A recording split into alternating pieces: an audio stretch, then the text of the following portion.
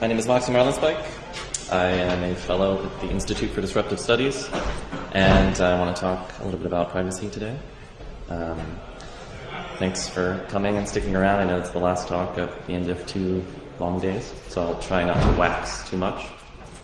Um, but I want to talk sort of generally about privacy and uh, those trends, as well as uh, maybe talk a little bit more specifically about a few projects that I'm working on and that I've seen other people working on as well. Uh, so I guess what I'd like to do is start by looking into the past, talking about the threats that we saw previously, the projects that we thought were important, uh, the ways that we wanted to mitigate those threats. And then I want to talk a little bit about how I see those threats changing and some speculation into the future of what I think is going to be important moving forward and things that I'm interested in working on to address those situations. So looking into the past, uh, a lot of the sort of technology narrative in the 1990s was dominated by this thing, the web browser. When Netscape first introduced Netscape Navigator, it was almost revolutionary. And immediately, uh, many people moved to capitalize on that knowledge. Uh, one of the major players that quickly moved uh, was Microsoft. Uh, and they wanted to protect their interests by introducing Internet Explorer. And so when they did this, the technology narrative of sort of the late 90s was transformed from not just the web browser, but more this war between web browsers, the browser wars. And we all know how that went. Uh, but at the same time, there was another war that was happening.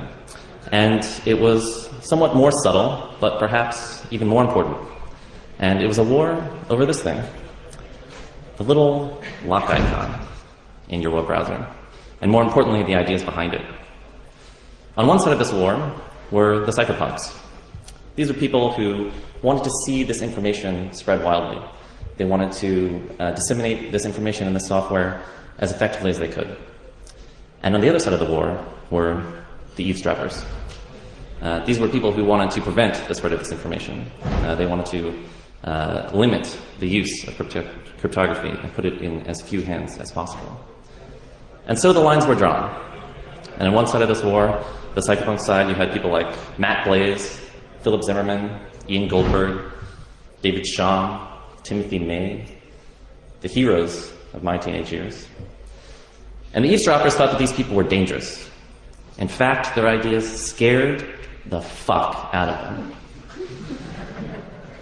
They were talking about the move from a world where the eavesdroppers had ultimate control and access to all communication and information to a world where they would have no control and no access to any communication or information. In fact, they thought this was so dangerous that they classified these ideas as weapons. That, at least in the United States, if you wrote a little bit of crypto code and uh, sent it to your friend in Canada, that was tantamount to uh, shipping Stinger missiles and uh, you could be tried and prosecuted as such. At the same time, the government realized that uh, these ideas were perhaps potentially interesting to some people and that they would want them. And so they realized that they had to come up with their own solution. And for them, that was uh, key escrow, which was best embodied by the Clipper chip. And the idea was that this is a totally opaque chip uh, that no one knows the, the internals, no one knows about the details of the internals and that the government would embed this into every piece of consumer communications equipment, every telephone, every fax machine, every personal computer. And then you could use this inside all of these devices to establish secure communications channels with other people. Um, it was essentially like a little crypto processor. Uh, the only trick is that, of course, uh, the government would have sort of like a master key, which they could then use to decrypt whatever communication they were interested in. Um, so the main problem for the eavesdroppers during this time is that cryptography is not a banana. That is to say that information is not an object. And if you have a banana and you share it with a friend, uh, there is still only one person in the world with a banana. If that friend then gives the banana to someone else, there is still only one person in the world with a banana. With information, every time you share it, uh, you make a copy, and so you increase the chance for an exponential ex explosion of that information. This situation was made worse by one of the main cypherpunk mantras, cypherpunks write code. A lot of great work had been done in academia of developing cryptography outside of uh, government control, um, but it was mostly theoretical. It was mostly in uh, white papers and uh, you know talked about in conferences. There's very little actual software, and what cypherpunks wanted was software that people could use. They wanted to write software, distribute it widely, so that anyone who wanted to use cryptography could use it. And so they kind of went nuts. Um, some people moved to Anguilla, which is a uh, Caribbean island that has very favorable laws in terms of uh, cryptography and export restriction.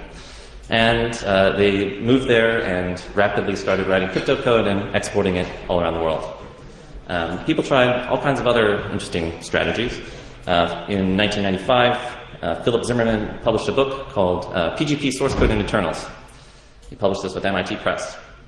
The book was nothing but the PGP source code printed in a machine-readable font. Uh, it was a very small print run, and the idea is that if you have a digital representation of cryptography and you uh, send it to your friend in Canada, that's exporting munitions. Uh, if you have a book and you send it to your friend in Canada, that is protected as speech. And so what they did was print the source code to PGP in this book with machine-readable font, uh, small print run, mailed it to every place in the world that they would like to see cryptography, and then the people there simply scanned it back in, and now they had a copy of PGP that had been uh, distributed totally legally.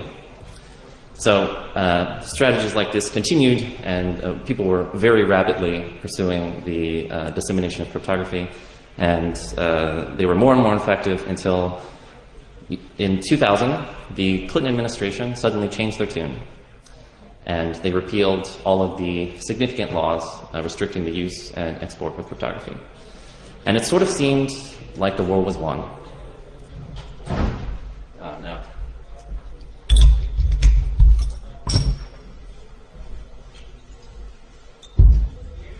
That um, the cypherpunks had done it and gotten cryptography um, all around the world.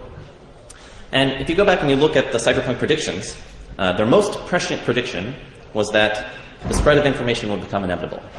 The premise of their entire existence was that cryptography will become ubiquitous, and that was the thing that they were most right about. Uh, this was sort of one of the first times that we saw how information really does want to be free. However, their other predictions about what would happen once cryptography was everywhere were somewhat less prescient. Um, these were things like uh, anonymous digital cash will flourish, intellectual property will disappear, surveillance will become impossible, uh, governments will be unable to continue collecting taxes, and eventually governments will fall.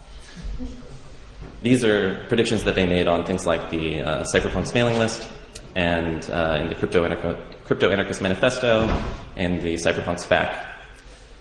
But if you flash forward 10 years after this sort of victory of the spread of cryptography, Cryptography is the thing that allows you to securely transmit your credit card number to Amazon.com so that you can buy a copy of Sarah Palin's book, Ongoing Rogue.